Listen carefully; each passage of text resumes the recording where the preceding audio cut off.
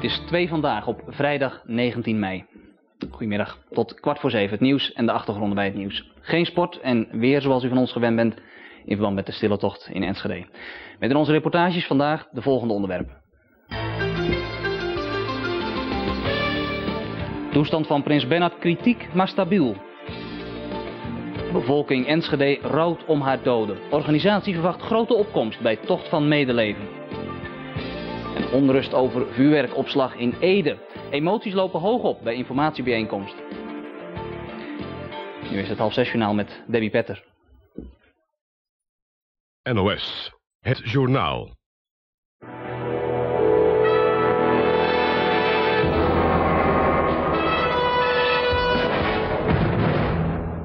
Goedemiddag. Het kabinet is het vandaag eens geworden over het bereikbaarheidsoffensief voor de Randstad, zeg maar het rekeningrijden.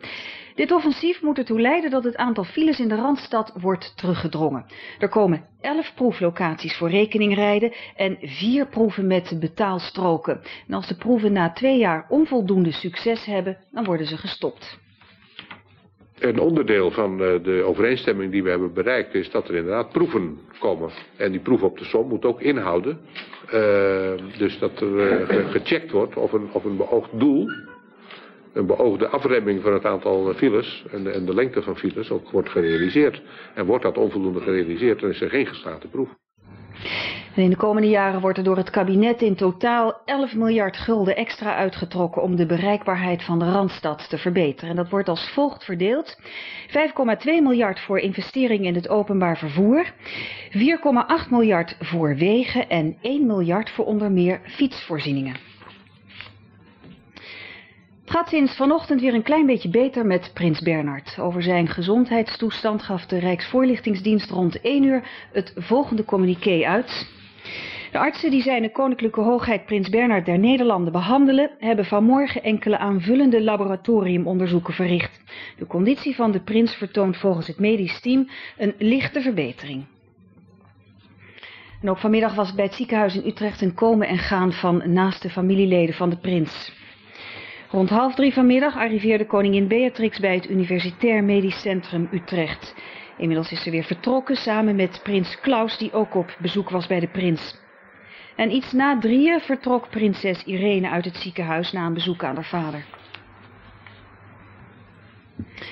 De lijst met vermisten in Enschede is weer korter geworden. Er staan nu nog tien namen op van vermiste personen. Eerder vandaag stond het aantal vermisten nog op 17 en later daalde dat naar 13. In Enschede is Margriet Brandsma. Margriet, tien vermisten nog. Is dat nou de eindstand?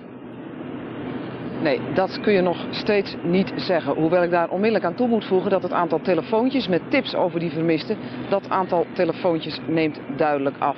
Maar een eindstand, dat kan je nog niet zeggen. Voeg daar wel aan toe dat de werkzaamheden, het zoeken naar resten, die werkzaamheden die vorderen.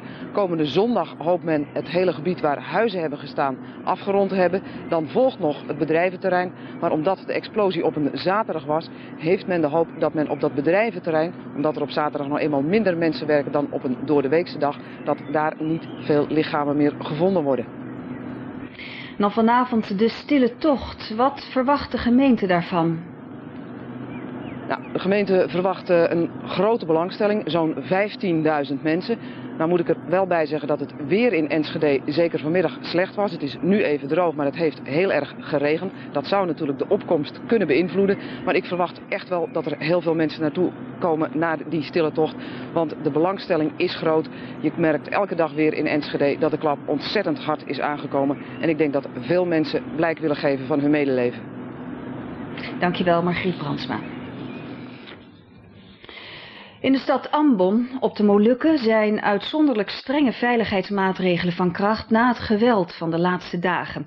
Daarbij lieten minstens 26 mensen het leven. Het Indonesische leger maakt nu jacht op sluipschutters. Ambon is een van de weinige steden in Indonesië waar christenen in de meerderheid zijn. Na een periode van betrekkelijke rust werden er deze week opnieuw huizen en een kerk in brand gestoken en vielen er dus weer doden. Het Indonesische leger lijkt de stad inmiddels onder controle te hebben en heeft opdracht met scherp te schieten op helschoppers en sluipschutters. Volgens christelijke strijders is de komst van 1600 jihadstrijders naar de Molukken de oorzaak van de hervatting van de gevechten tussen christenen en moslims. Maar moslimleiders ontkennen dat. De stad Ambon stond vroeger bekend om zijn grote tolerantie. Maar sinds januari vorig jaar is er religieus etnisch geweld en daarbij zijn al 2.500 mensen omgekomen. Weer tot slot. De bewolking overheerst en geregeld vallen er buien, mogelijk met onweer.